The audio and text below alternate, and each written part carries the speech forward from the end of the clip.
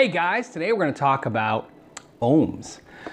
Ohm. You knew I was going to make the joke. Ohm. Okay, this is going to be a fast video and you will be ohms masters uh, within minutes.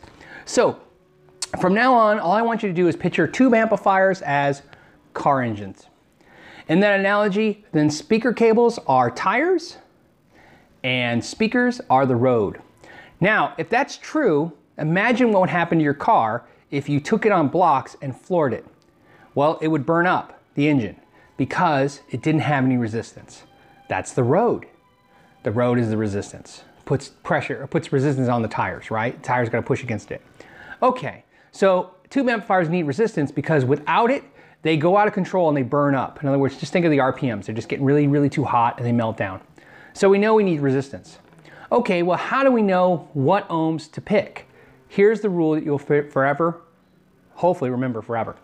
Picture ohms as sumo wrestlers.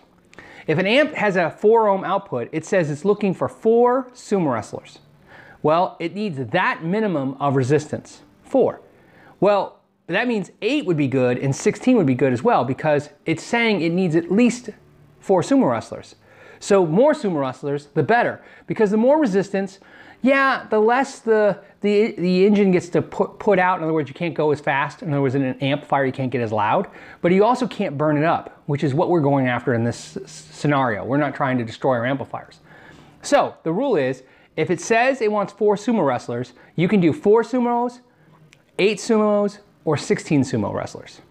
If it says 8, you can do 8 or 16. And if it says 16, what's telling you it needs an army? A 16, it needs 16 sumo wrestlers, so you can't run into 4 because it's not enough resistance and the amplifier will burn up because it's going to run too hot.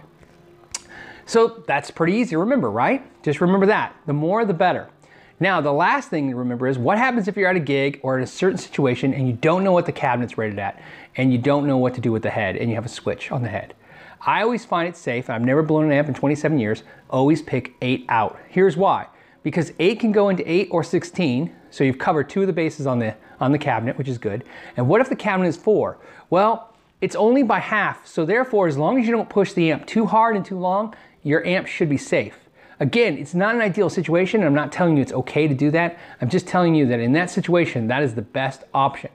So that scenario, always run your amp and doubt, 8 out, if you're really in doubt and you don't know what's going on. Otherwise, always match them up, 16 to 16, 8 to 8, or 4 to 4, or you can always go more. So you know, one of the benefits of going more, in other words, taking an 8 ohm output and putting in a 16 inch or 16 ohm cabinet, is that because of the more sumo wrestlers, the resistance, the amplifier, it distorts a little more, gets a little darker, and your amplifier, you can actually turn your volume knob up a little higher and get less output because it's got more resistance, but that's okay because the amp likes it. It doesn't mind the resistance. Again, don't think of it the other way around. It's not, it's not bad. So the more sumo wrestlers, the better, which means the more ohms, the better.